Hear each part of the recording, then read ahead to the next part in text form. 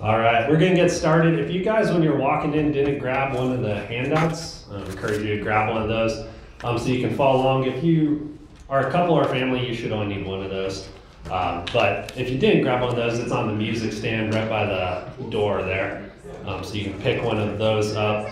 Um, as we're getting started, um, Pastor Tom's going to open us, um, but just reading a little bit from the Word and, and just praying to kick off this meeting.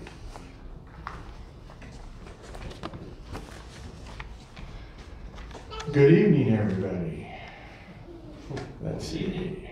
I had a bookmark here. Um, I'm going to be reading from Psalms 127. And, uh, you know, before I read, um, I just got back from uh, a uh, conference, the uh, Founders uh, Conference down in Florida.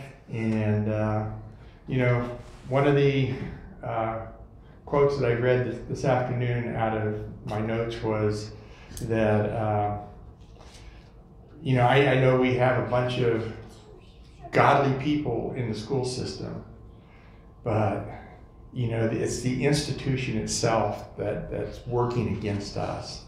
And um, Paul Washer said that, um, oh, golly, how did that go? I just mentioned it to Pastor Ryan.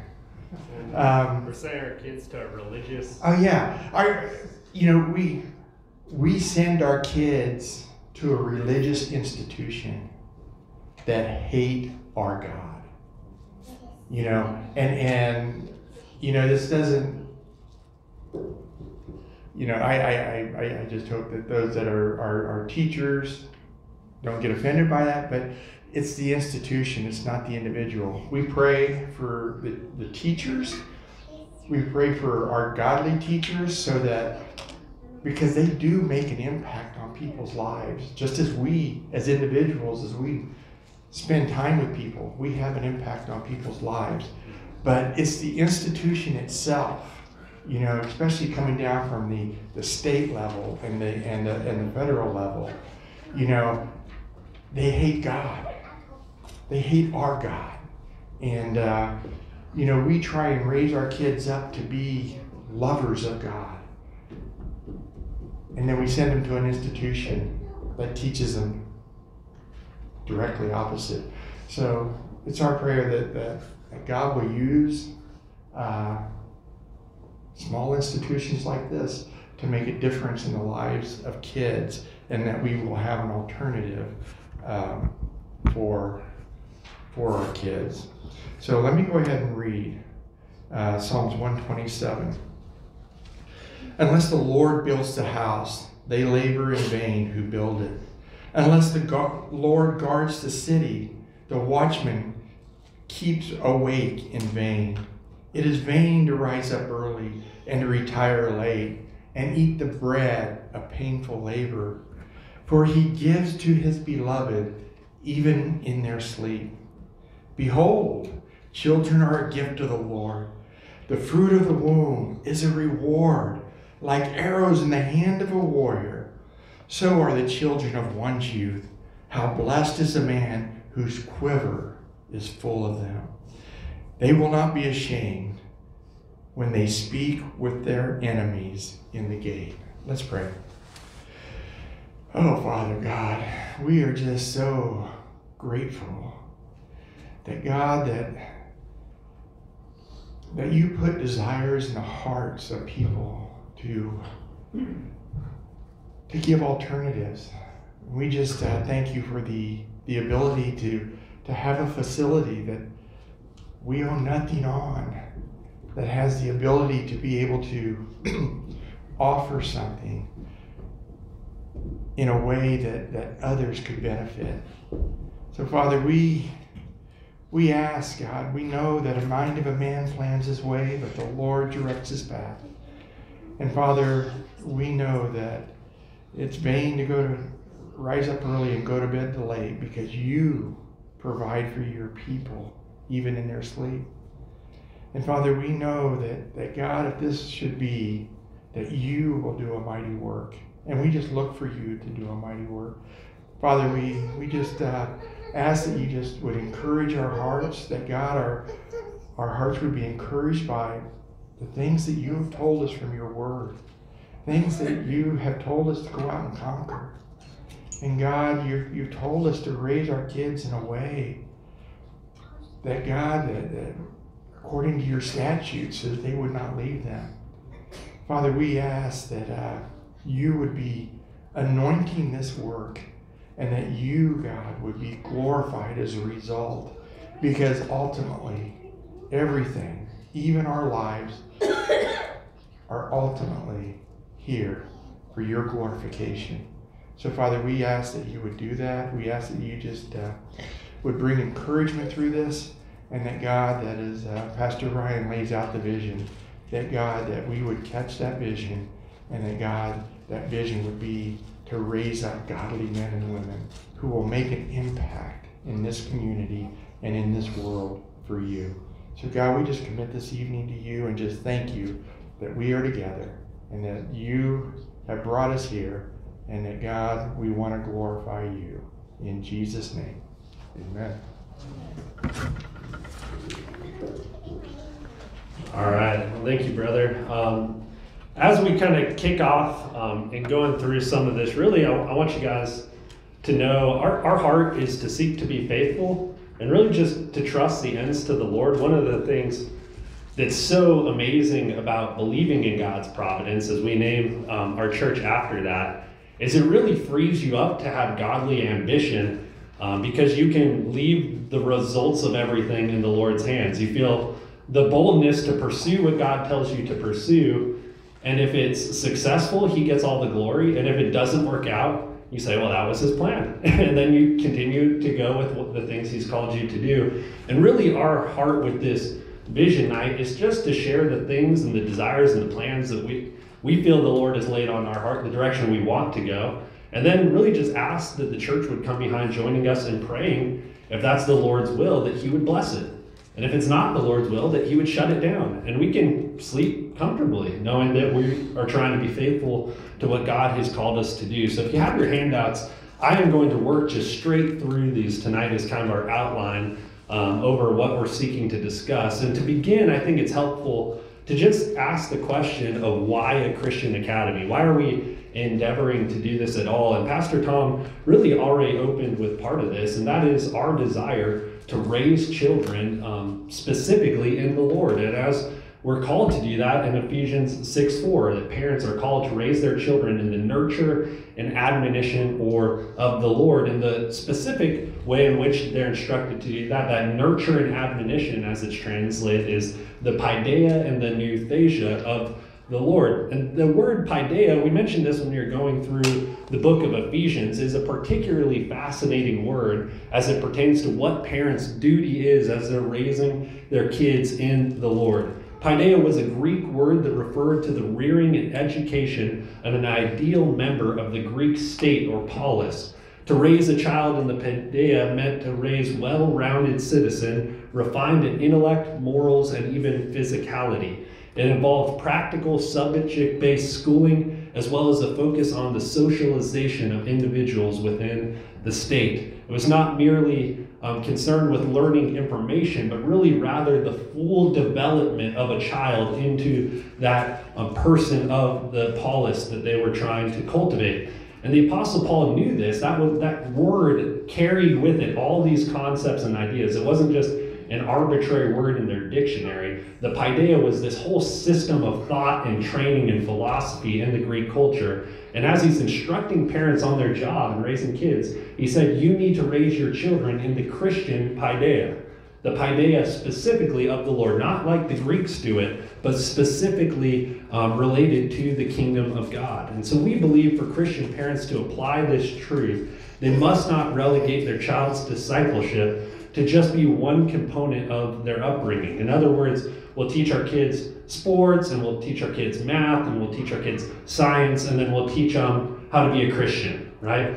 And just relegated into like one component of their upbringing. Rather, the idea is that what he's trying to get at is the overarching sense of everything that's building this child up, everything that this child is being discipled in is in the Lord. It's not a segregated sort of thing where we insert it as, oh, well, we go to school and we also go to Sunday school. It's this sense of all of the education is pointing them towards the end of what Christ had created them to be. And right now, as parents are seeking to raise their children in the Paideia, to give them a distinctly Christian education, there really is two main lanes in which Christians um, have ran in if they want to give their kids a schooling and education that is entirely focused on Christ.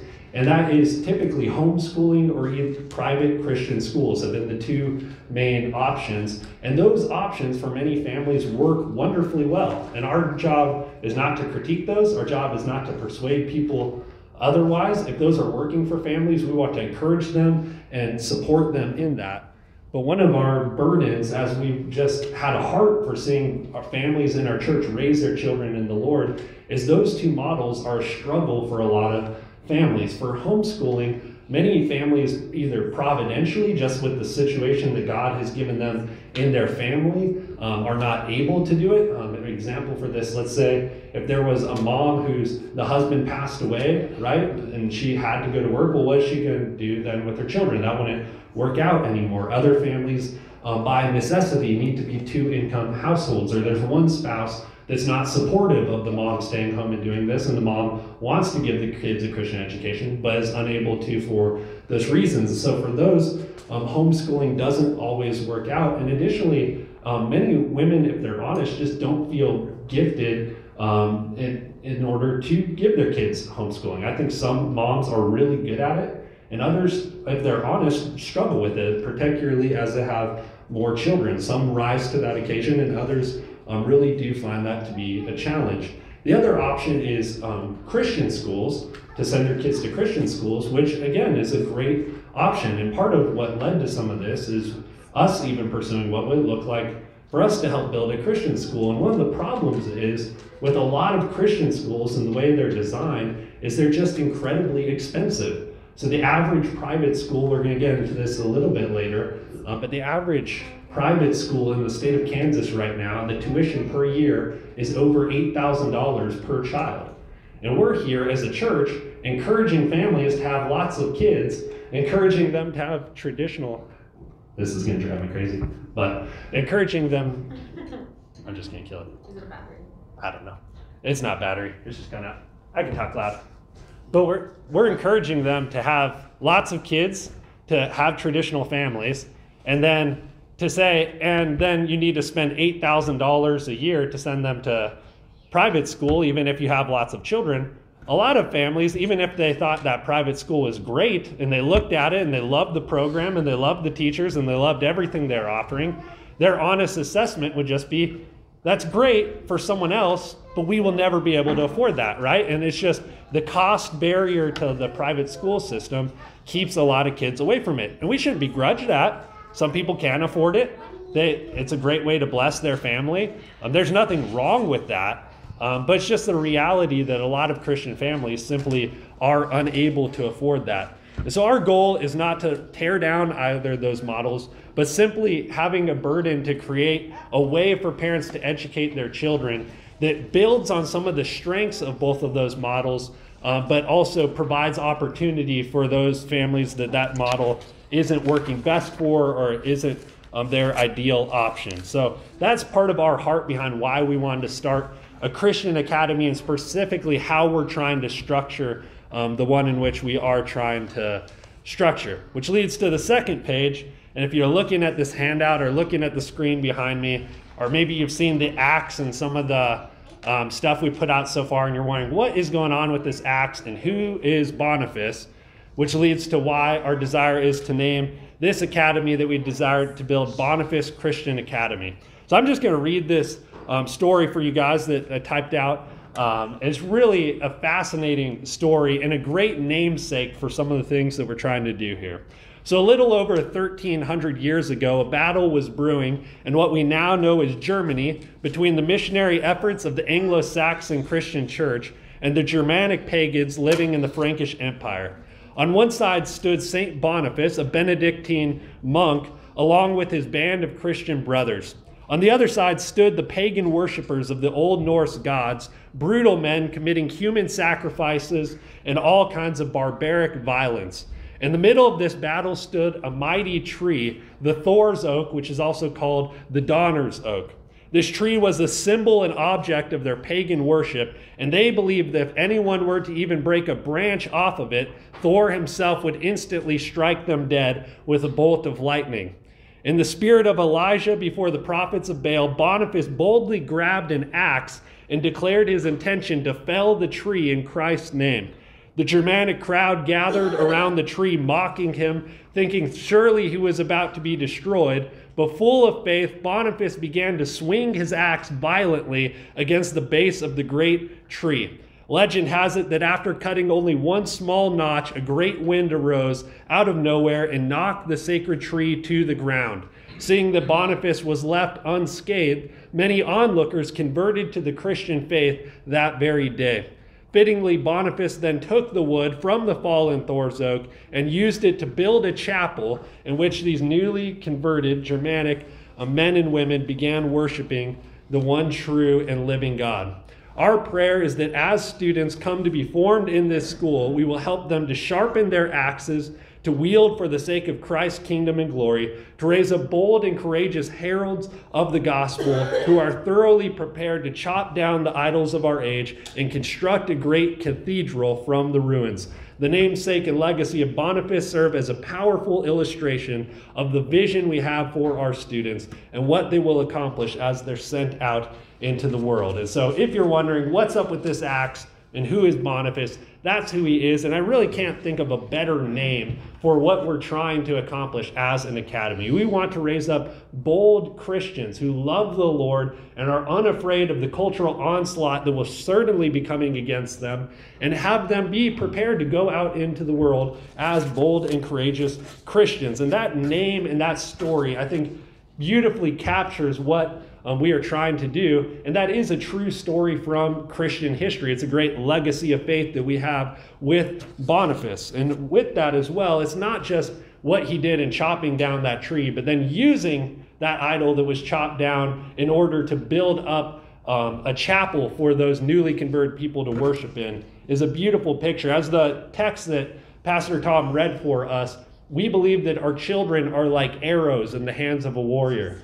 That means that our goal, living in the day in which we live, is not merely just to shelter our children from a world around them that seeks to corrupt them, which is true. That is something that we do need to take very seriously as parents. But our desire is to raise them up in such a way that those arrows can actually be sent out and used by the Lord in battle. This is not merely a sheltering um, mission, this is a mission to raise up children who will boldly serve Christ's kingdom and do so courageously. And so, what will this look like? If you flip to the next page, there's really three aspects that will be the key kind of founding marks of this academy that we're seeking to build. The first is that it will be church run, the second is that it will be lordship focused, and the third is they'll be curriculum driven and teacher facilitated. So, the first aspect of this is this will be church run. Now, the majority of Christian schools or academies that exist out there um, you might be surprised to know, are largely not church run. The vast majority of them function as parachurch ministries, usually with private boards. They're a private 501c3 that receives funding from outside sources to build it up in order to run it. Um, our desire instead is to run this as a ministry of our local church. And we want to do that for a few key reasons. The first of which is it ensures pastoral oversight of the education and operation of the school. Often with Christian schools, and you understand how this happens, is when it is functioning as a parachurch ministry outside of a local church, there's this institutional desire always to grow the institution, right? We're naturally wired that way. And so, what typically happens is when it pertains to theology and the teaching of Scripture, they're going to want to lower the bar to the lowest common denominator in order to welcome in as many people as possible, right? So you're from all these different denominations, you have all these different beliefs, but we're all under that banner Christian, so come on in. Even if you're Catholic, even uh, sometimes if you're Mormon or Jehovah's Witness, if you'll pay tuition, come on in. We'd be glad to have you. Um, and maybe they'll have a Protestant confession of faith. Maybe it'll be that particularized. But I've even seen a number of schools here in the area um, that are, are, would say they're a Protestant um, school that have Catholic teachers on staff, for example. And it's a, it's a pretty normal thing in these institutions. And it's partially, I think, just how they're governed, how they're structured, because there's no particular body who's overseeing what the theology of the, the school would be. Well, when it's run out of the local church, that's really easy. What theology would this school be promoting? The church's statement of faith. Who would be overseeing that? The pastors. How would we particularly train these children as it pertains to theology? We'd use the catechisms that we're encouraging our families to use. It's just straightforward because it's run from the local church. Additionally, rather than trying to build a new institution, um, we're simply seeking to use our resources that we already have as a local church um, and as a community for God's glory. So, one of the things that is part of behind this desire as well is just thinking through how we can be good stewards of this building that God has given us. Right now, in, in our church, the way it's configured, we have 14 classrooms spread out around the building. Right now, two of those classrooms are in use. So we have 14 classrooms designed for education. That's why they were built. That's why they were put in. That's why they were wired. That's why people gave of their tithe checks and gave above and beyond in order to build this facility, to have these classrooms, to serve the kingdom of Christ. And right now we're using two of 14 of those to educate children. That, that's been weighing on me ever since I've been here for the last two years is how do we use these for kingdom ministry? God has given it to us. What would it look like to put those into use? Well, Lord willing, this would be a way for us to redeem a lot of this building that God has given us for God's glory. So, first aspect of it, it would be church run. Now, in saying that, that doesn't mean that we wouldn't allow necessarily non member families to participate. We'll get into that a little bit more. But it would be a ministry of our local church. It would be signed particularly for the members of our church, and then, in as much as we're able to serve the broader community with it, we would desire to do that. But first and foremost, it would be a ministry of our church. Second aspect of this is it would be lordship focused. Now, I'm going to read this and then elaborate on it a little bit. It says, It is crucial that the entirety of what this school does be focused on Jesus' lordship over all things all subjects and coursework must be connected to the reign of Jesus and the response of his people. We refuse to offer largely secular courses with a Christian veneer. Rather, all subjects will be taught distinctively Christian with no neutrality. Additionally, our emphasis is primarily on raising God honoring Christians, not merely excellent students. Okay, so two components of this I want to highlight. And this is something I think, particularly in the Christian school movement, um, that's very common, but often it's very common even in, in the homeschool movement. Um, and that is often the, one of the main drivers behind getting kids out of public school and into private school or into homeschooling is fear for what's going on out there, right? So there's things happening in the schools that we don't like, there's influences we don't like. So we're going to get them away from that and that becomes the primary engine that drives the rest of the education. And to that, I would say, yes and amen. That's the right place to start, right? It's a good impulse to see something wrong and to want to protect your children from it. But the positive vision of what we're actually trying to instill is not just to keep our kids from bad things. We want to instill in them all of the right things, right? It's not merely don't learn this bad thing, Let's learn this right thing. And we believe that Jesus is King of kings and Lord of lords and is at the right hand of the Father and is ruling and reigning, and that all authority in heaven and on earth has been given to him, and that we are to train up our children as disciples in all things. So, why does math work? Because we have an orderly God, right? We have a God who created order. We have a God who's consistent and does not change, right? That's why math works. How do we understand science? We understand the God who created heaven and earth and gave it its purpose and its meaning, right? All things we want to instruct from a biblical worldview, understanding that Christ is king. And so often what happens is basically almost all of the education, 90% of it plus, will be nearly identical to a secular education, but then they'll throw in a Bible hour.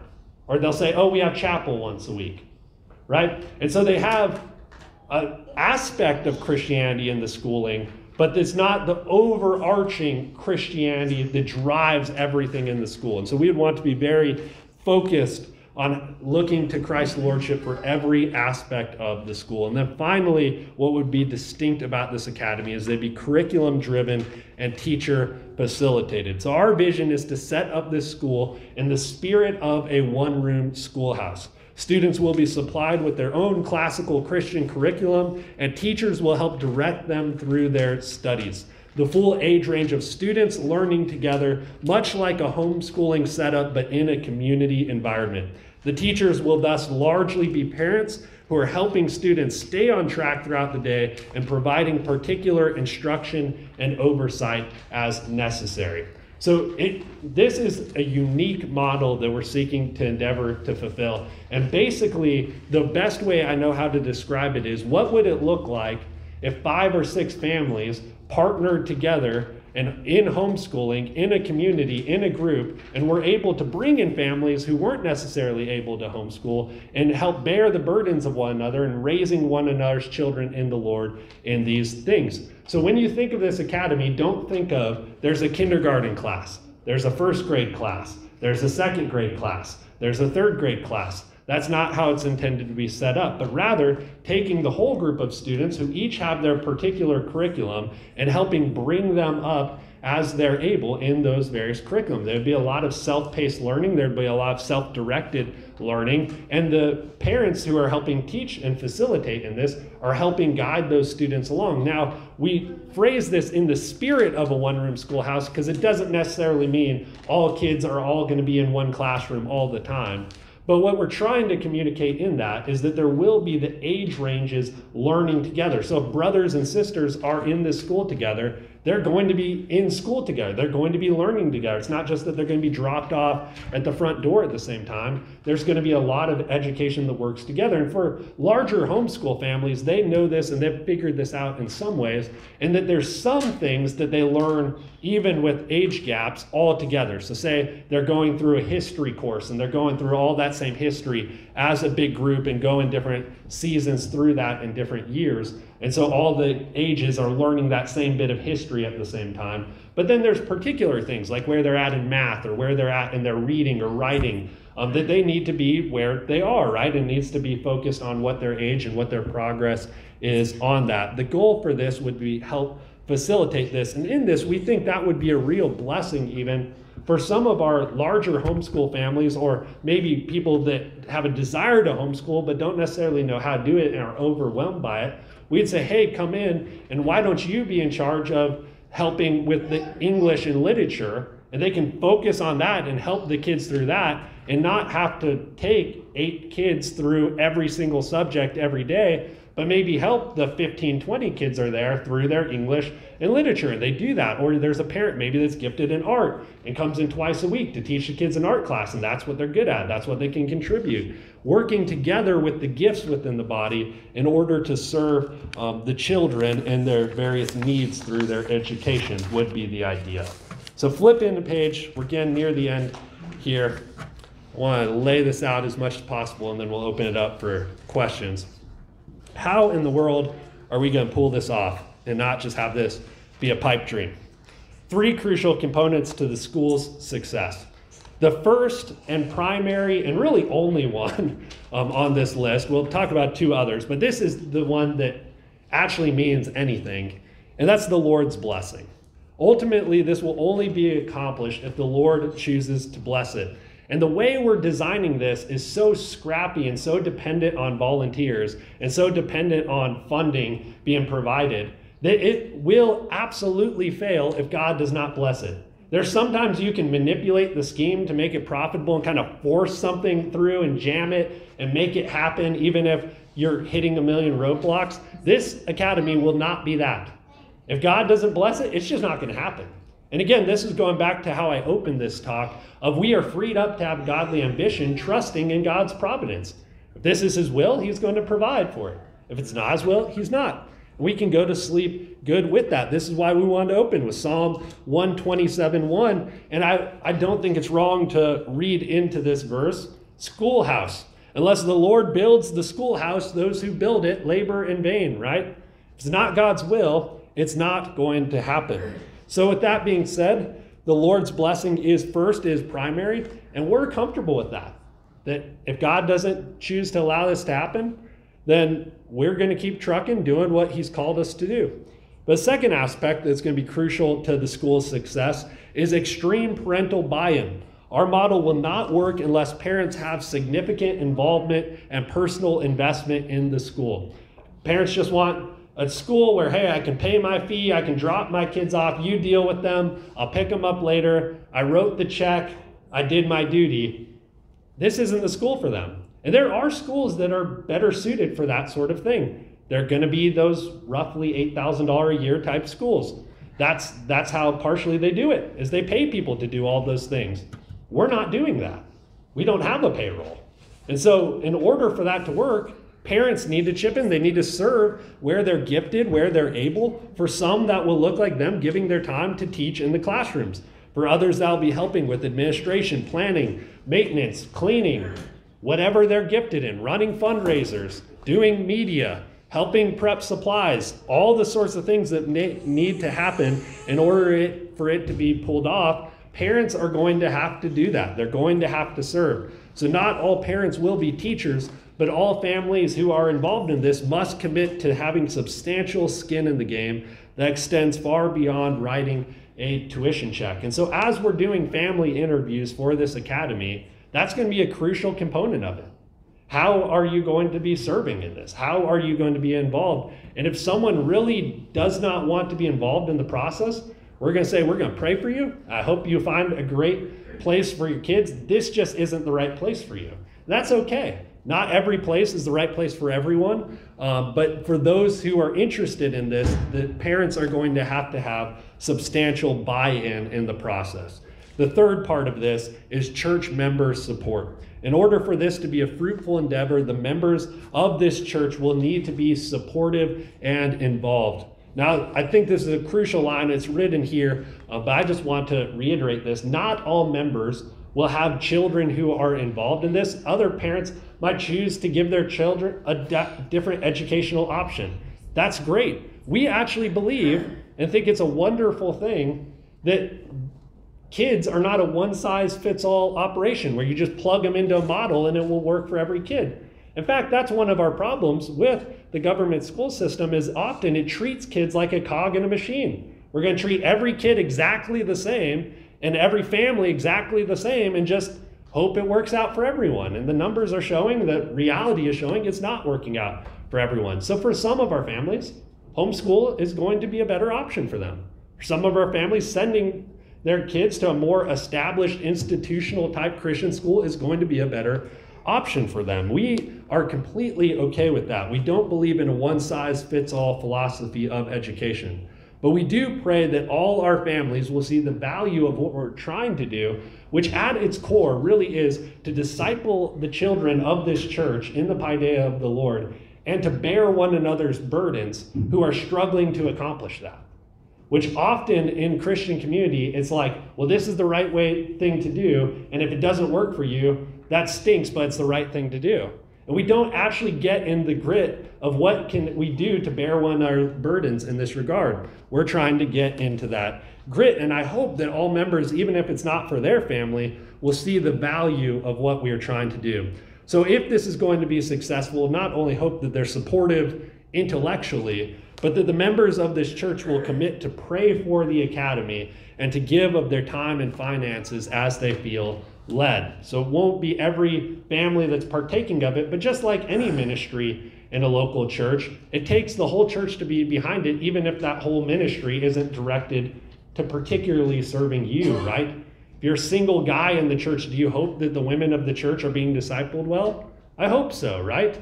That, that you're not the direct recipient of that necessarily, but you are a member of the body and you want the body to be built up. I hope our church would have that mindset as we consider um, this academy. So let me run through a few potential questions people might have and then open it up to you guys with any um, questions you've been thinking of as we've been going through this. The first is what grades will be we be enrolling, and our intention is to open this up beginning with offering um, courses for K through 12 students, so the full range. And given the structure of our curriculum and classrooms, we believe that we will be able to facilitate all the grades in our academy, thus not excluding any of our families. Again, this is part of that one room schoolhouse mentality. You know, how is it that families with nine kids figure out to homeschool all their kids at the same time, right? They learn how to educate kids that are at different places and they don't have this mindset of we need a senior class, we need a sophomore class, we need a seventh grade class, right? If that's what we were trying to do, opening with K through 12 would be completely unrealistic, right? There's no way we could year one offer 13 classes that are going all year. But we might have one class that has like 15 kids, you know, the full range year one. And we think that is very reasonable, especially with the number of adults helping out throughout the day. So, how large will the academy be? That goes to the second question. At this point, we don't know what that attendance um, will be. But that said, our goal is to keep this academy in the spirit of a one room schoolhouse. Our goal is not to build a massive school, but rather build a multi generational environment where, again, all these ages are learning together. Students across the grade spectrum will be learning aside one another. Brothers and sisters will spend much of their day together, okay? And this is where I think, again, this being a ministry of the local church, it keeps us grounded in our aspirations. Our goal is not necessarily to be the next largest school in town. Our goal is to minister to the families in our church as we're able, as much as we're able to extend beyond that reasonably and still keep oversight over it. We're glad to help with that. My prayer is that more and more academies like this are going to be popping up in local churches all over the place. I'm not trying to have a corner on the market here. We're praying that God would be raising up this sort of thing all over the place. There's another classical Christian school that, Lord willing, will open up in Ogden this upcoming year. I pray that that's successful. I've talked to them a lot in that and been pretty involved in helping them get that one off the ground. So I don't have a competition mindset whatsoever. I want to see more of these things raised up. And because of that, we don't need this to become massive. Obviously, if we're able to do it well and we can serve more people, we'll do that, but we're, we're going to have to scale that smart. If we, if we had aspirations year one of trying to take on like 80 kids, 100 kids, I think we would provide really poor education to all those kids and would burn ourselves out. That's not helpful for anyone. And so we have to be um, realistic about what we are actually trying to accomplish with this. What curriculum are we planning to use? Although we will certainly feel the freedom to use what we think is going to be best and not to be beholden to any one particular one. Right now, we're looking at using Memoria Press, which is a classical Christian curriculum. It's specifically not designed in packets to give kids all of what they need for their particular age or grade ranges, which again will work really well for this model. It's similar to like what homeschool families do. They buy curriculum for their particular child and they help them work through that throughout the year. Our mentality would be very similar, um, at least for most subjects, as we're helping the kids work through their curriculum. What would the schedule be? Our plan would be to meet full days Monday through Thursday. Um, we don't know the exact times for that yet, but this would be a four day a week academy. So it is not the same as like a half day, once a week homeschool co op. It is more full time than that but in four full days, we really believe, with it being rigorous and with it being highly instructed, that that would be more than sufficient educational time. Kids may have homework that are related to, for example, reading assignments, uh, but our plan is to fit the vast majority of their education within those four days. And one of the things you realize in homeschooling or just um, in different environments is you realize how much wasted time is in the average school day. There's a lot of time in transition. There's a lot of time doing things that aren't education. And if we were highly structured and paying attention, you can get a lot done in four days um, if it's rigorous, if it's pointing towards the end that we're hoping to accomplish. All right, so that would be the intended schedule for that. And our goal is to launch this in the upcoming school year of September 2023. And uh, miss the point there that our intention would be to run this in a very typical calendar year of starting the Tuesday after Labor Day and ending the Friday before Memorial Day. That used to be like what every school did. and now they've made it confusing and every school district wants to do something different. I think that's a really easy way to lay out the calendar year. It worked for a really long time, and then people got creative and tried to change it, and it hasn't seemed to work. So that's an easy um, calendar year that we would run with. Couple more things. What will be the cost of tuition? Now, I, I would just say the honest answer to this is we don't know. But I also know that if you don't put any numbers down, people are like, well, that's great, but who knows? You know, it's just completely up in the air is not being helpful. And so please don't quote us hard and fast on these numbers. But we did want to give rough numbers to give people an idea of the cost we're shooting for with this. And I think these are reasonable estimates of what we are going for. And as we consider tuition for children involved, there's really going to be two main categories. The first will be the cost of curriculum and supplies, and the second will be the facility cost um, for the increased usage of the building. So, although we're not able to quote exact cost, our goal is to keep the curriculum and supply cost around $1,000 or less per student. So this would include all of their curriculum that would come from Memoria Press, as well as all of the supplies that we would just be using, paper, pencils, tape, you know, all the sort of things that you need in a classroom that you use. Um, our goal is to keep it around that benchmark or less. I think depending on how fundraising and things go, we could actually make that less, but I think that's a, a really a realistic goal to shoot for at that about $1,000 mark per student. As far as facilities costs go, we'd intend to charge non-member families um, somewhere around $4 per child and then cap that at a certain point so that if there was a family, say, that was sending six kids here, it's not going to continue to go up and up with those kids. Um, it would cap at like a thousand. So, like, for example, You said four. 400, 400 per child and a thousand per household. Yeah. So um, You that, said four dollars. Oh. that's pretty cheap. Yeah. That's a good deal. We're, we're trying to make this affordable. Between four dollars and a thousand dollars. We'll, we'll turn on the heat once a year.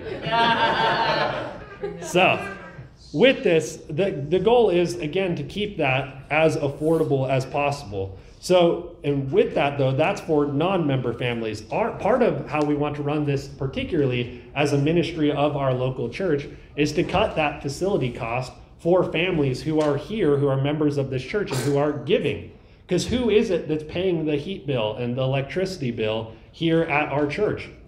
It's the members, ultimately. They're the ones who are paying for this. And so we wouldn't want to charge them on top of their facility fee. We're not like the federal government who taxes you when you buy a car, and then taxes you when you buy gas, and then taxes you when you register that car, and then taxes you when you drive down the toll road, right? And it just finds 8,000 ways to tax you to drive your car. Our mentality is that the members are paying the bills of the church, we're not going to make them pay the bills again. Okay? So if they're paying the facility costs, all we would ask is that they honor a commitment to continue their normal giving to the church. We're, and we're not, again, setting a number on that. We're not saying you need to give X amount per year to the church or whatever percent. We're just asking between you and the Lord. Part of our member covenant is that we'd give towards the ministries of the church. So if you're a member, we're going to ask you to keep that member commitment that you made when you joined the church. And if that's the case, then we're going to waive um, the overall um, facility cost for your family. All right. And so to put these numbers into perspective, if $1,000 per child, roughly, without a facility cost for members of our church sounds like a lot. Um, the government school system right now is spending about $15,000 per student per year. So this is an extreme fraction of what's being spent on public school. And the average private school is charging about $8,111 per student per year.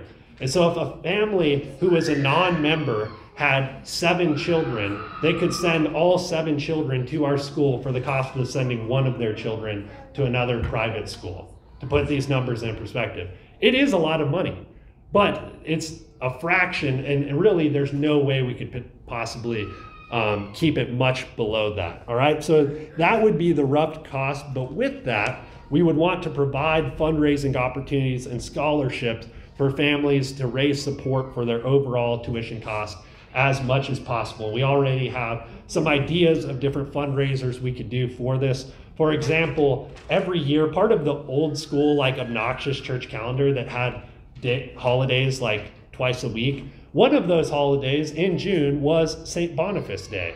And so it would be kind of fun on St. Boniface Day to hold a big fundraiser for the church or for the school, particularly. And I particularly think renting out one of those axe throwing places as part of that celebration would be awesome. Another thing we could do as a fundraiser for the school is legend has it that the tradition of bringing Christmas trees into your living room at Christmas time came from the tradition and history of Boniface cutting down that tree and now it being a symbol of worship for Christ. All right, so I think it'd be cool around Christmas time to sell live Christmas trees as a fundraiser for the school. So we could do really fun things tied to the mission of the school that I think would be um, really successful in helping bring down those costs for families. All right, so we'd want to keep it as low as possible. But what would be the expense for our church as we think of what would the impact be on this for our local body? As stated above, the church will plan to support this ministry by increasing our utilities and facility usage budget lines in order to support the school. The reality is, if we have kiddos in here four days a week, our utility costs are just going to go up.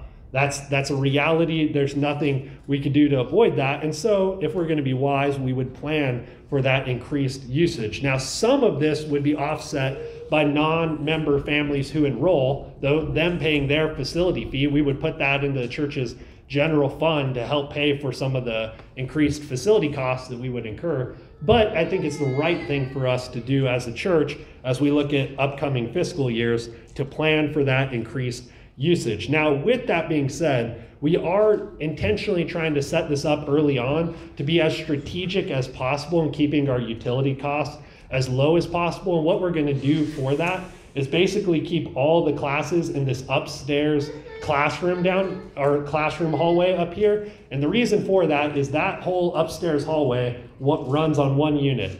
Whereas, for example, the sanctuary and the back and the rooms below it, those are three different systems they're running. So if we use the basement right below us for the school, we'd have to be running three heat and air systems throughout the year. Whereas if we're only using the upstairs over there, we only got one unit running during the day um, while the school's going on. So we're going to try to do things like that to keep it as cost effective as possible um, from a church utility standpoint. But ultimately, I genuinely believe that if God has given us this building for ministry, we should be using it for ministry as much as possible. We don't want to be wasteful with utilities, but if we're Scrooges with the utility bill because we're doing ministry in the church, what's the point in even having it? Why, why would God give us a building that we're going to complain about paying money to use for making disciples? That, that doesn't make sense to me. So, in as much as we're able to afford it, um, I think we need to be willing to use this building for the sake of ministry, doing that in a wise way, doing that as much as the Lord enables us. But also, I think there is a real ministry opportunity here in that right now in Junction City and the surrounding area, there's not a single Christian school right now that's being offered to families. There's one Catholic school in town, and there's one like heretical kind of crazy school um, in town um, for an apostate church that holds a school out of theirs. But there's not one single Protestant Christian school here or in the surrounding towns. Um, I really think there's a huge need for that in the area. I wouldn't be surprised at all if the Lord used this in order to bring like minded families into our fellowship in the future as well um, which would certainly help with all these things. So, that being said, um, for families who are interested in enrolling, right now what we're asking is that they just fill out a handout so we get an idea of what families are interested in being involved. Really, a lot of the specifics of how this is going to be executed is going to completely boil down to what families are like, we're really interested, we want to do it. And if we have three of those families, that's okay, we're going to start building logistics off those three families. If there's five families and they have these different skills. Okay, we're going to use that in order to structure it going forward. Um, so, really, the next major step is just to figure out who all is interested in this um, and go from there as far as the plan um, that we're going to have to execute in pulling this off. So, with that being said, I've talked a lot. I'm sure you guys have some questions. The answer might be I don't know, um, but I certainly want to open it up to questions you guys might have or even just comments, feedback. I don't know if you said this earlier, but uh, have you talked to other churches about this and seen if they have input too, like other Baptist churches? Yes, um, I have. And so I was working pretty closely with the guys who are trying to start that, that other Christian school, um, some like minded guys. One of the guys who's very involved in that, if you remember when John came and um, preached for me, John Hastings over at um, Vintage um, Church in Manhattan. So they're trying to start a, a Christian school as well. And really, that where push came to shove um, with us, I think just kind of going in, in a little different directions, is they're wanting to have a more traditional um, Christian school that hires like full time teachers and staff. Um, and that just comes with a lot of cost. And, and really, my burden for that and considering that is I want what we're doing um, to serve the members of our body. I, I don't want to spend personally, where I feel called, um, a lot of my labors um, for the sake of something that's not going to serve our body. And so I do think, in talking to our pastors, there is a need for this sort of thing um, in town, but we intentionally don't want it to be like a cross church work in the sense of we want to be under the oversight of the pastors of this church, but I do think it is going to serve other churches in our community that have families that are desiring this sort of thing. So, again, I think we're always going to primarily lean into families of our church um, for enrollment in this, but I do think we're going to pull in others as well um, in as much as we're able. Did that answer your question? Yeah. And we do have a handful of people that want to know more about this that are not in our church. Yeah.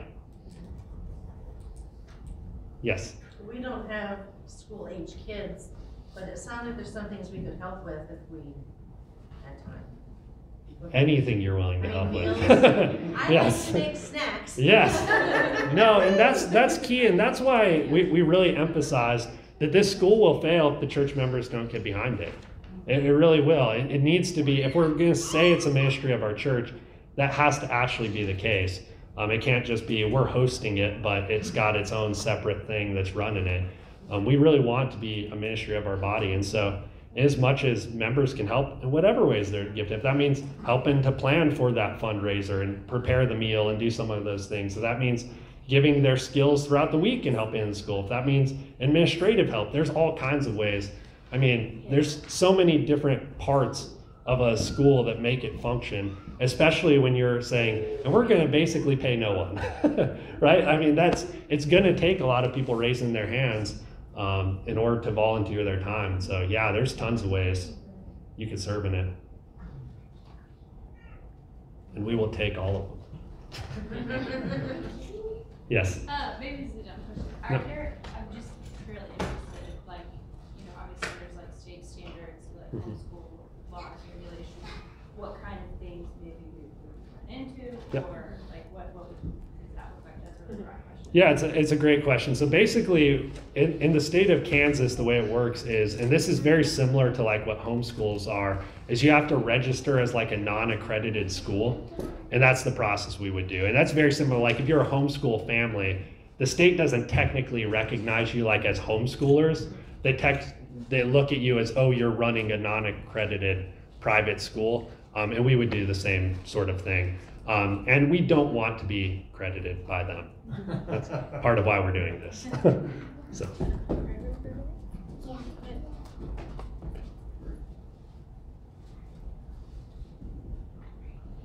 anyone else have any questions? I'll throw one at you. Yeah. So you said, how hardlined are you on the kicking in and, and having skin in the game? Meaning, I love your first, one of your first things you mentioned was talking about the single mom. Mhm. And so is there aspects of grace for circumstances? A hundred percent, and that's why it what that looks like is not going to be the same for every every family. But the mentality of like, I don't want to be involved. I just want someone else to run with it. That won't fly. But that could mean like that one person who had really on a weekly schedule would not be able to help much. But it's like during the summer fundraiser or something, they're going to lean in a lot. And so really, it's going to be particular to each family and what that looks like. But if someone had the mentality of like, I just want someone else to deal with it, that's that would be the concern. Um, we want everyone to have skin in the game, that's substantial for them, right? Like the widow's mite was a lot of money, right? And and so that that's the illustration I would use for that, and that they have to give what's a lot for them. That's going to be different for every family, though, what that actually looks like. Awesome.